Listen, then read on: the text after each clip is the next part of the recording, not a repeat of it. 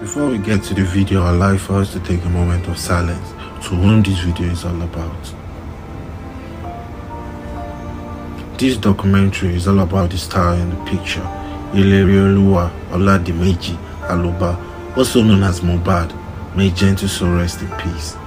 I'll take you through the journey of Mohbad before and after fame. Sit down and tighten your belt because we're taking a flight.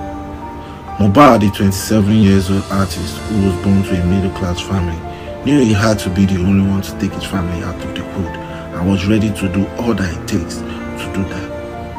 Mohbad and his friends started making freestyle videos on the internet till he started getting some buzz even before his friends, who he started out with. As you all know, the star must always shine. Then he got a call from Marlians wanting to sign him. As a street boy, he couldn't see himself fit elsewhere than alongside people who knew what he had been through, thinking he would be amongst brothers, not knowing it was a different case. Well, Mohbad took his chances and signed his deal with Marlian's record, and that was the beginning of his problems. From further investigations done by internet police, it is said that Mohbad was intimidated into a gang and was forced to keep the dealings of the gang a secret, but he couldn't and requested an opt-out option, but was refused one. And that was when everything took a huge turn. Mohbad started reaching out to friends out of fear to have enough evidence. He started leaking out all the information he knew to his friends and loved ones, but no one did nothing. And the only ones who did were Mo- Bella Shmurda, who is Mohbad's best friend. He spoke out a few times in interviews, also spoke out on the internet, but no one did nothing.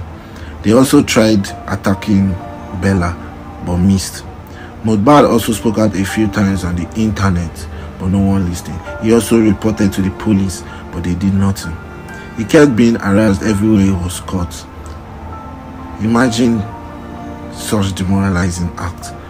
He kept fighting for his peace and even kept dropping songs, EPs, even was going on shows while they were trying to bring him down and shut him off the internet for good.